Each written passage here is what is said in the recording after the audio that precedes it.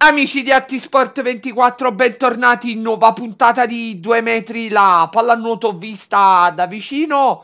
Siamo ormai prossimi alla partenza dei playoff promozione per il campionato di Serie B. Noi oggi apriamo le nostre porte per andare in casa della Giorgini Ottica Muri Antichi, prima classificata del girone 4 e per farlo è un gran piacere accogliere nel nostro salotto virtuale il team manager del set allenato da Aurelio Scebba, Enrico Sciacca. Enrico, benvenuto, grazie di aver accettato il nostro invito. Grazie a voi, e intanto eh, buona serata a tutti, anche a te, grazie Andrea e un saluto a tutti gli amici di Due Metri. Enrico, io ti faccio iniziare la nostra analisi facendo un'escursione, andiamo un po' a ripercorrere quello che è stato il cammino, non credo di esagerare se dico anche al di sopra delle aspettative, di una Giorgini Ottica Mure Antichi che dopo un inizio in cui sembrava stentare un po' poi è diventata praticamente un rullo compressore ed è andata poi dritta quasi fino alla fine, un piccolo passo falso, però è andato in porto il primo posto. Che bilancio tracciamo della stagione regolare? E la stagione regolare è stato il campionato appena concluso che ci ha visto appunto al primo posto, è stato per noi molto soddisfacente anche perché non era previsto diciamo al primo posto, strada facendo la squadra è cresciuta partita di partita e come sapete per noi l'obiettivo iniziale era eh, entrare quantomeno nei playoff, raggiunto diciamo ampiamente prima del previsto e poi abbiamo mantenuto la prima posizione eh, che ci permetterà di fare questi playoff eh, disputando la, l'eventuale bella terza partita in casa e questo potrebbe essere anche un vantaggio a favore nostro. Diciamo che quindi le, le, il gruppo ha fatto un campionato al di sopra di quello che era previsto e per noi siamo molto molto soddisfatti e siamo contenti. Assolutamente grande soddisfazione, però come ha detto anche il vostro presidente Spignicchia si gioca per vincere, non si gioca per uh, far presenza.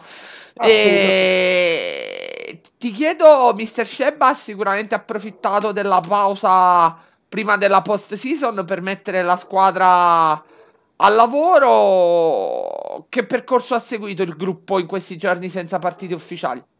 Ma in questi giorni il gruppo si è allenato ovviamente regolarmente tutti i giorni si è allenato sia nella parte diciamo, diciamo uh, natatoria, ma anche e soprattutto ha seguito quelle che sono le indicazioni del nostro mister con preparazione di eh, schemi, partite amichevoli con qualche squadra locale e tutto sommato siamo molto soddisfatti del lavoro dei ragazzi perché stanno seguendo quello che, diciamo, le, che sono le direttive e le indicazioni di, del nostro mister Aurelio Scebba. Quindi diciamo che il lavoro che stanno portando avanti è soprattutto essere concentrati su questa ultima parte del finale dei playoff eh, ed essere eh, soprattutto concentrati proprio nel, nell'approccio della gara. Assolutamente particolare, importantissimo perché sembra banale ciò che sto per dire, ma quando si arriva ai playoff ogni squadra che arriva è sicuramente preparata dal punto di vista fisico, cura ogni particolare dal punto di vista tattico, ma probabilmente, come giustamente analizzavi tu, la differenza la fa la capacità di tenere la testa esatto. sulla sfida e la capacità di gestire le energie mentali nel migliore dei modi. Esatto. E percorso eccellente, percorso che vi ha portato al primo posto, al di là delle più rose aspettative. Però adesso si alza l'asticella perché Adesso... non, sono, non sono più partite di stagione regolare, per cui i paracadute, qualche piccolo paracadute c'è ancora, ma io tendo a dire che qui non si scherza più. E al, dovendo alzare l'asticella c'è bisogno ovviamente di spostare anche in su il livello delle prestazioni. Quale step di crescita, quale salto di qualità serve a questo gruppo per vivere al meglio l'avventura dei playoff? Ma il salto di qualità è stato fatto durante l'anno, perché ricordiamo che noi siamo partiti con una rosa mista giovane, eh, con qualche elemento di esperienza e i nostri giovani sono, sono, cresciuti e sono diventati importanti e avranno assunto un ruolo molto fondamentale nella crescita della squadra. Ora tutto le ultime partite speriamo di mantenere alta la concentrazione e dobbiamo sicuramente fa- dare il nostro massimo impegno per cercare di arrivare quanto più là possibile e sperare di concretizzare questo, diciamo, questo sogno, questo salto di categoria. Assolutamente il percorso verso il sogno da concretizzare parte con una grande sfida che se non sbaglio è stata un playout di qualche stagione addietro. Giorgini Ottica Muri Antichi contro Pescara Pallanuoto, società storica. E quarta classificata del girone 3 allenata da un tecnico top come Paolo Malara. Formazione fatta da tanti giovani ma che sicuramente arriverà in Sicilia per vendere cara la pelle. Fatta tutta questa premessa che partita ci aspettiamo?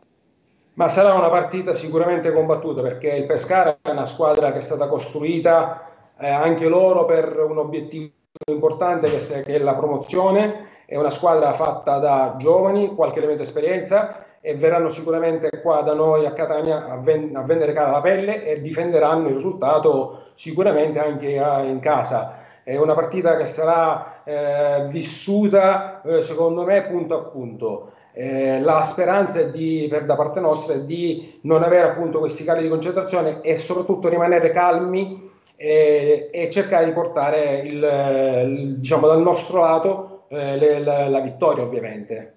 Assolutamente il, il confronto sarà serrato, sarà punto a punto, ma è uno step indispensabile da superare. Io voglio chiudere e qui sono ammessi tutti i riti scaramantici del caso, chiedendoti cosa vorrebbe dire per la Giorgini Ottica Muri Antichi il ritorno in Serie 2. Ma eh, ritorno in Serie 2, facciamo appunto tutti i gesti scaramantici del caso, ma per noi è ritornare nella categoria che riteniamo di appartenenza perché tantissimi anni abbiamo militato in Serie 2 e che mm, secondo noi eh, dovremmo prima o poi ritornare e sperando che sia questa la volta buona. Va bene, siamo così al termine di questa chiacchierata. Ringrazio Enrico Sciacca per essere intervenuto. Do appuntamento ai nostri spettatori per la prossima puntata. Ciao Enrico, grazie mille. Grazie, di nuovo una buona serata a tutti. Se mi permette solo una cosa, vorrei fare un applauso alla Nuto Catania che si è salvata, una squadra concittadina che ha vinto il playout contro la Roma qualche giorno fa.